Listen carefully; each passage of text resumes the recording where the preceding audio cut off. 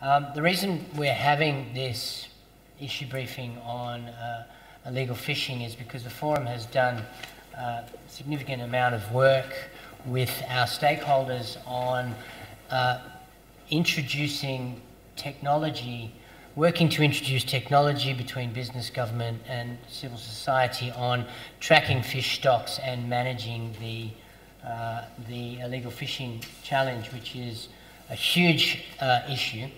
Uh, illegal, unreported, and unregulated fishing represents theft of around 26 million tonnes or $26 billion uh, of value of seafood a year. It's a hugely challenging issue that, uh, that runs across the supply chain. Uh, today we will have a perspective from, uh, from Timor-Leste, uh, from a minister who has a deep understanding of uh, illegal fishing issues in Southeast Asia and how governments and business are working together to solve that. And from Peter, perspective on the challenges of human trafficking in the illegal fishing industry. Uh, and so with that, I'll hand over to Minister Da Silva for some statements on this. Thank you. Thank you. Um, thank you for having us here. And then uh, the issue, the illegal fishing, is a global issue. Nowadays, when resources from, from the earth is getting scarce, we turn into sea. Um, that's why we have, um, last year I took part in an international meeting on blue economy. And then next month I'll travel to, with my colleague, Minister of Foreign Affairs and the Minister of Environment, we'll go to New York for a conference, also an international conference on the, on the blue ocean and blue economy, which is very important. So uh, it's an issue, an issue of, uh, of great importance for Timor-Leste because Timor-Leste is an island. Not only this, and then we lie between the Indian and Pacific Ocean. Apart from this, and the most important thing is that in Timor-Leste, we lie in a region in the, what we call the triangle of a high biodiversity. So any the illegal fishing activities will endanger these species, will endanger what we've seen, we can be, it can be seen as, a, as world heritage, what we need to protect. Uh, and what everyone, and then also because of climatic changes, some tough action needs to be taken in order for us to protect those species.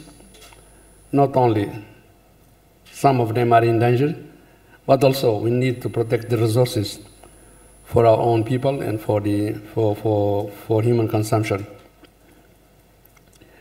In terms of for, for Timor-Leste, it's very important as uh, the protein intake in Timor-Leste is one of the issue. So we need to, to do it. So what we, we have in Timor-Leste, we promote a sustainable fishing.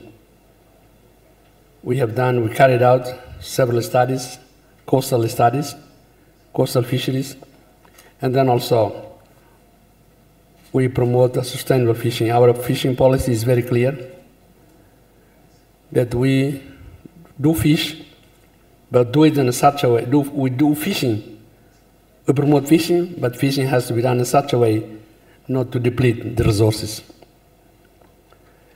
And uh, that's why our, our legal framework in Timor-Leste is very tough.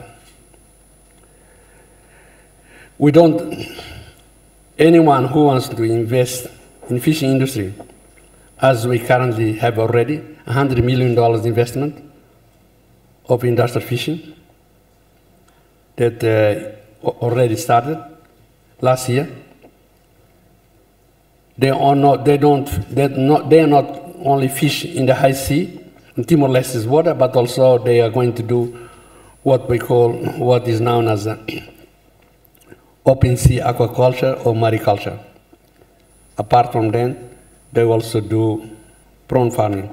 But in regard to the fishing, anyone who wants to, because we are uh, mindful of what could happen. Whoever wants to in Timor have to fulfill some prerequisite. First of all, you have to submit. As for how many, we do license. Our license is, is renewable every year. You don't have license for five years. So any license can be terminated if they are found, they are caught of violating our regulation. The, the, the regulations cover the amount of fish they're allowed to take. Yes, the the amount, the amount of fish and what we call the company catch. So if they fish tuna, they are allowed to fish only 10% of other species. If they, caught, they are caught fishing over this, they will be penalized. If they fish the protected species, we give them warning. First, second, third is to get out of Timor-Leste. Last year, or the year before last year, I did it myself. I canceled two fishing vessels from Sri Lanka. They went there to fish shark instead of fishing tuna and other pelagic species. We gave them the first warning, the second one, the third was to get out of Timor-Leste.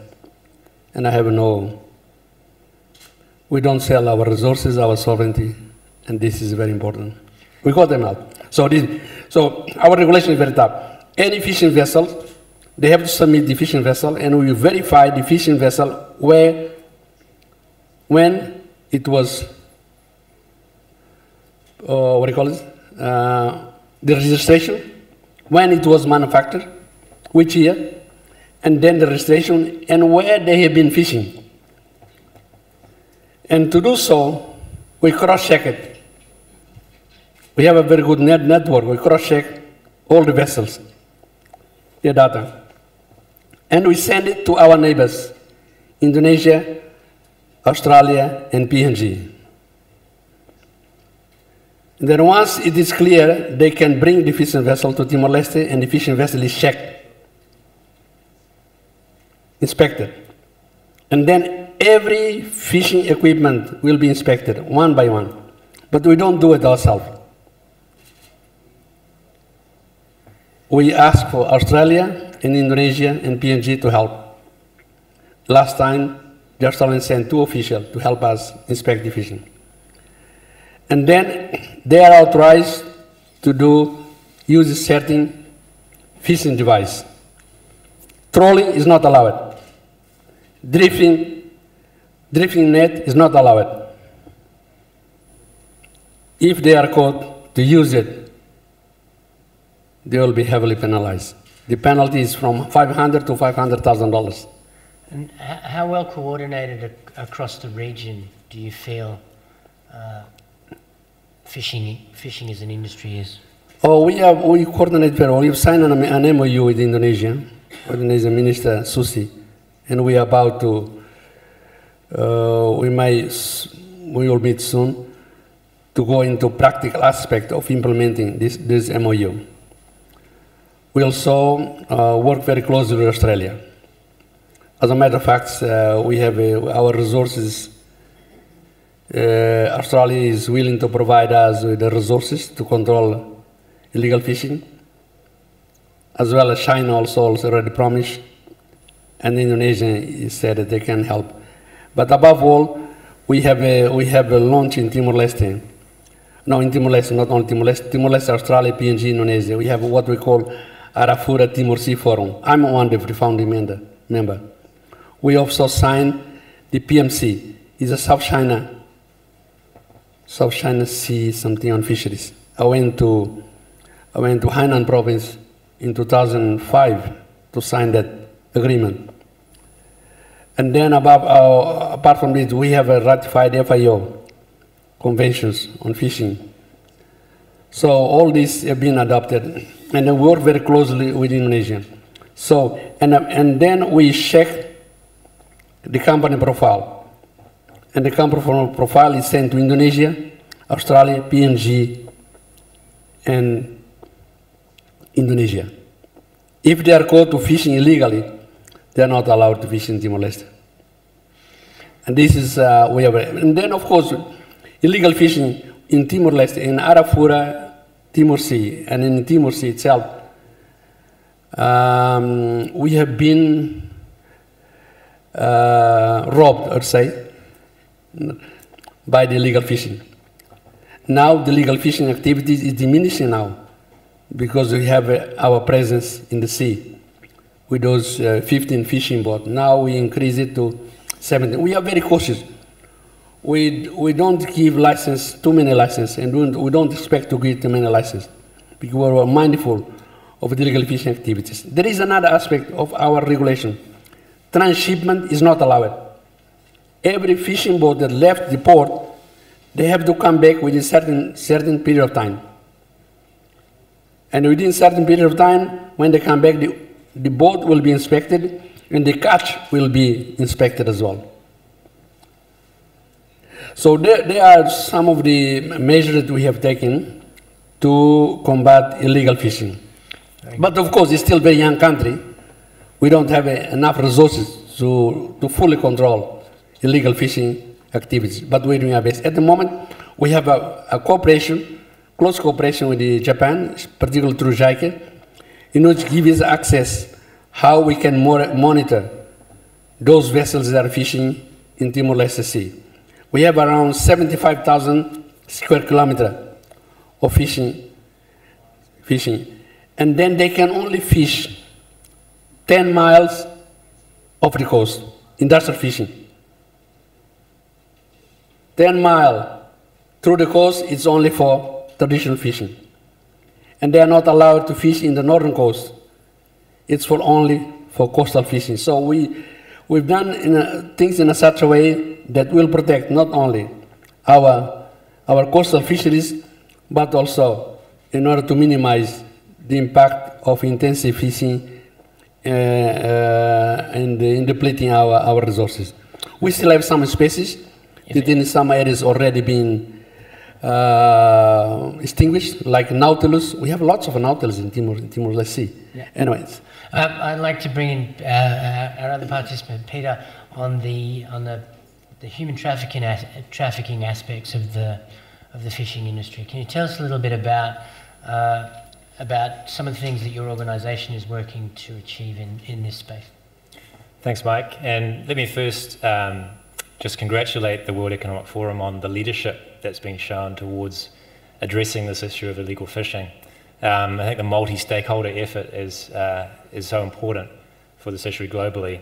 And also, it's gratifying to have the minister here uh, who really represents um, the power of government to enforce laws to protect uh, the environment um, in their countries and also um, to protect the economy. Um, I would say that where you have environmental degradation, often it's a result of a failure to enforce laws.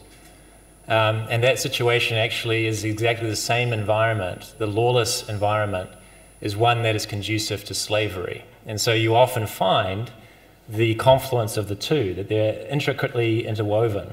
That you find where you have environmental degradation, where you have the exploitation of the environment, the exploitation of people follows. And it, likewise, where you find slaves in the world today, um, you often find the degradation of the environment. And the common denominator, the common thing that's there, is a lack of enforcement of law. And so IJM's mission around the world is to protect the poor from violence and, and a lot of our work is to counter trafficking and human trafficking. Um, we do that by identifying individual cases, working collaboratively with, uh, with governments to, to bring rescue and restoration to victims of trafficking, but also to prosecute uh, those that actually perpetrate this crime, this crime of human trafficking. And um, as we do that, we're able to work alongside justice systems to build up their own and strengthen their own response to the crime. And you know, this, um, the confluence of the environmental degradation and the degradation of human rights is just a space in which there's huge potential, I think, for coming together on this issue and from, from both perspectives. Um, and so, what we have seen uh, as we've addressed this crime uh, here in Cambodia in a relatively new project, um, protecting Cambodians from the scourge of labour trafficking in the region, and also a new project in Thailand and Bangkok, which is directly focused on the fishing industry in Thailand. So what we've found is that um, we can have partnerships with, with, with private sectors who are engaged in the illegal fishing um, response and actually work together to strengthen law enforcement. And that's the, that's the key, that's the coin of the realm, that's really what needs to happen. The, the technology can be used to, to track ships, it can be used to track ship, uh, fishery um, products. Um, the, the work can be done to enforce regulations and laws on, on fishing um, vessels and, and ship captains. But that effort and that significant investment of resources will itself be denuded, will be undermined if you cannot uh, consistently bring to account in criminal justice systems those that are actually perpetrating violence against the migrant fishermen that tend to find themselves on these vessels. And so what we find is that uh, in a typical case, you know, you'll have a subsistence farmer somewhere in Cambodia or Myanmar or many other countries in the region looking for opportunities overseas. They're enticed overseas with the offer of good pay and a job not on a fishing boat because actually the word has got out don't work on the fishing boats.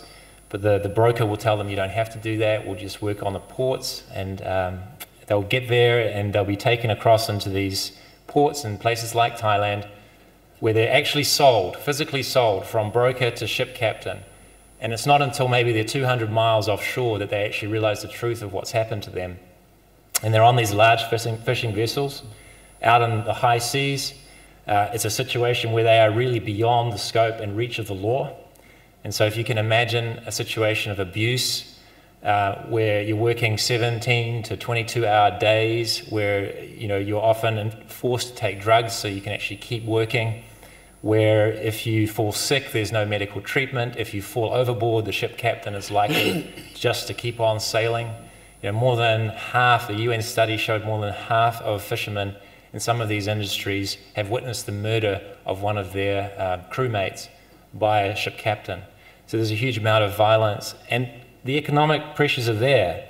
The, uh, the connection with the environment is that as these ships have to go further and further afield to find catch, they're further away from, from the protections of the law that might be in these countries, but also there's a huge amount of pressure to profit. And so 17 hour days are the norm um, to force these men to work hard on these ships in, in, in degrading and completely um, slave like conditions, essentially, which they can, they can just never escape from. There's no one to rescue them, there's no one to come and save them. And if we can just imagine that, there's a situation of, of a, a lack of any legal protection. Um, and, and that's just uh, a situation of abject hopelessness for someone on a ship like that. And so, really, that's where IJM is, is um, passionate about uh, assisting and strengthening local law enforcement to bring to bear the power of the law and sophisticated criminal investigations using data, using technology, um, to, to bring accountability into a space right now where the fishing industry entertains very low risk in actually employing slaves. There are very few convictions, you can count them on one hand of ship captains uh, for, for trafficking, for example, in Thailand. And so it's low risk, high profit. And actually, while it's low risk for these fishing companies, it's high risk for companies that are using those companies in their supply chains. And they assume the risk of that supply chain having slavery within it. And so that's where multinational companies can really bring to bear their leverage on these governments, their resources for these governments, to actually build their justice systems to respond and actually increase the risk for running slaves. And once you start to increase the risk, then you actually see the, the slavery reduce. And that's what we've seen around the world, and that's a successful uh, model of intervention where we would encourage that to, to, happen in this, in this context as well. Minister, can you tell us a little bit about uh, Timor-Leste's collaboration with its neighbours on the, the human trafficking issue? Yes, we, uh, my colleagues, uh, Minister of Foreign Affairs also here, we, uh, we, we do it through the Bali, uh, Bali Forum, Bali process. And it has been for, for, for many years or so. And human trafficking is, is one, of the, one of the issues that we face in Timor-Leste. And we have cases in which people were caught and have to be repatriated. Just an example of uh, one or two fishing boats that we caught in Timor-Leste, Thai fishing boats, and we found uh, several uh, people from, from, uh, from many nationalities, mainly Indonesians, some of them from, uh, from other countries, uh, that, uh, that we believe that were, they were part of this uh, human trafficking Hmm. and a part of this activity. That's why any fishing boats in Timor-Leste, the ones we give in, all the crew are registered, their passport, and it's all certified. For example, this, the fishing, the Chinese fishing boat, the all crew are registered, we know it, the passport, and then we have in every boat Timorese there. Unfortunately, some Timorese couldn't put up with the, with the staying too long, and they had to uh, be back.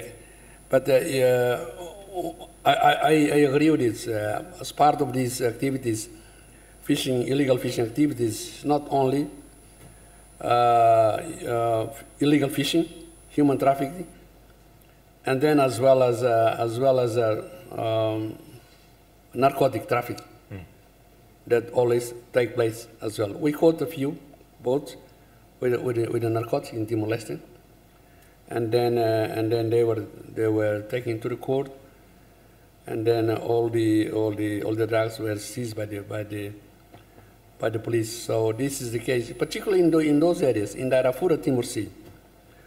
From the satellite images, you could see a lot of illegal fishing activities.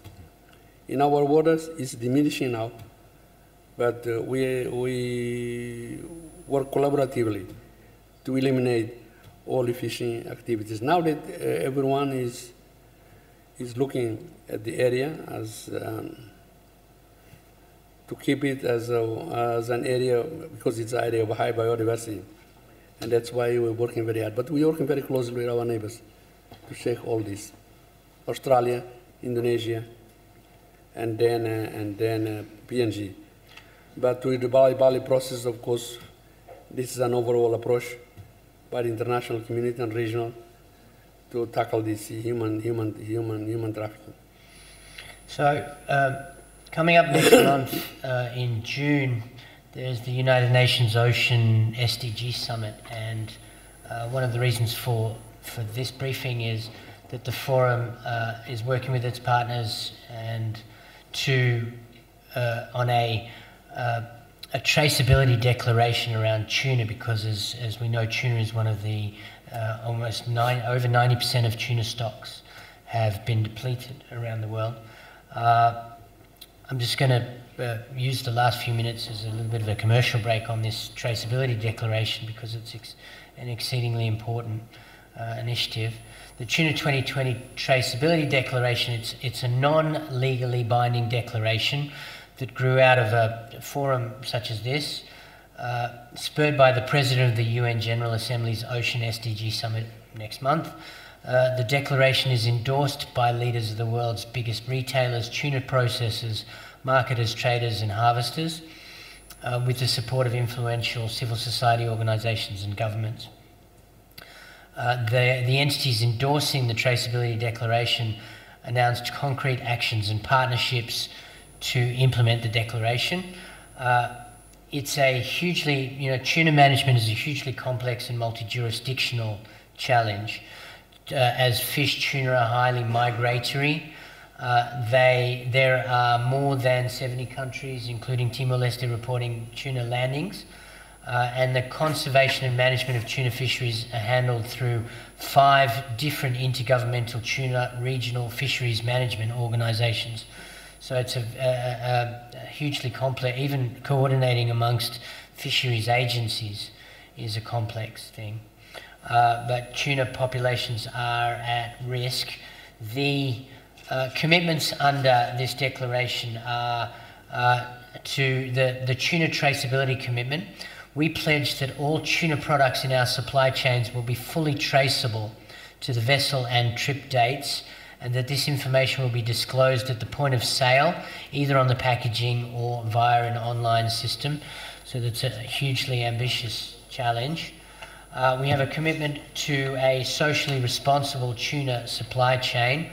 Uh, we pledge to eliminate any form of slavery and ensure suppliers at least meet minimum social standards in management practices as recommended in the Universal Declaration of Human Rights and the International Labour Organization's conventions and recommendations. So that's uh, an anti slavery commitment there. Commitment to environmentally responsible tuna sourcing. Uh, so there needs to be robust science based data management plans and measures to ensure that impacts of fisheries on the environment are sustainable, including bycatch mitigation techniques. Uh, and it's a government partnership, and I certainly hope we can have some, uh, some, some conversations around that with our, uh, the governments who are present here at, at the uh, World Economic Forum on ASEAN. Uh, in addition to the above commitments, as industry leaders, we call on and work with governments to take the actions that are needed to support them, which includes implementing harvest strategies for tuna stocks, uh, establish under, under, under all of the intergovernmental agencies that have uh, jurisdiction over tuna, establish systems to identify and restrict illegal seafood, uh, and to build capacity to establish and manage information systems to account for domestic and international fishing fleets. So this is all under um, uh, a forum project that's now being led from our San Francisco Center for the Fourth Industrial Revolution because there are technology uh, implications on this. We have the new vision for ocean, uh, which is about uh, uh, improving ocean health and unlocking opportunity. And this is available on the forum's website. And uh, any further information, the environment team here at the World Economic Forum will be very pleased help you with that. Uh, if I could thank our participants and perhaps ask for one or two last thoughts on each of your respective areas here. Yes, I, what I can say is that in Timor-Leste, we are fully committed. It's a political commitment across the board on the necessity to protect our fishing resources. And we have a civil society which is very active. Sometimes they say things that are too emotional, but, uh, but uh, we, we work together. And then uh, I can tell you that this government, the next government, and the next government will not allow any, any activity that will, will endanger our fishing, fishing resources. Timor-Leste, uh, we haven't started tuna fishing yet. We did it for a short period, but all, all the tunas that migrate to Timor-Leste have been fished elsewhere maybe in Indonesia, maybe some other country. But uh, I agree that uh, we fully agree, and then we are ready to, to commit ourselves to help it.